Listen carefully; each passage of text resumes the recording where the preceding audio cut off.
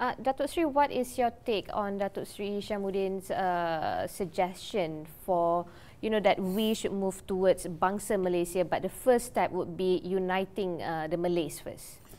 I, I, I basically I, I, I do not uh, read his statement thoroughly. Mm -hmm.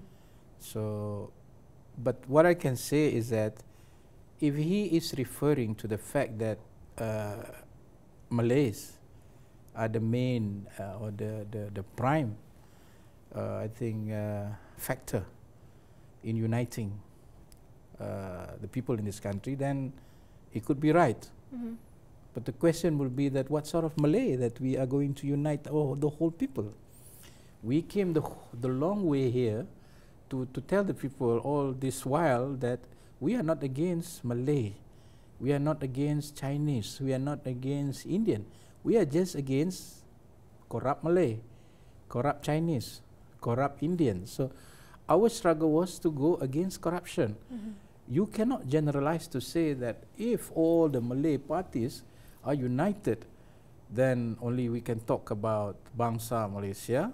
The fact that one of the Malay party who are infected with corrupt practices should then be addressed first, should then be uh, be corrected first.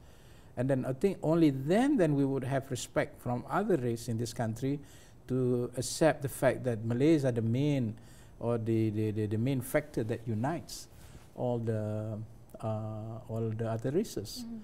So I would I would I would uh, I would suggest that Hishammuddin spell out or uh, deliberate more on his ideas if it comes together with what we are doing then I think in for the sake of Malaysia Baru, then we could share whatever ideas he has. But if he was just talking about uh, Malay supremacy in terms of Malay as been understood in the previous uh, way of thinking, then I do not think this is the way forward.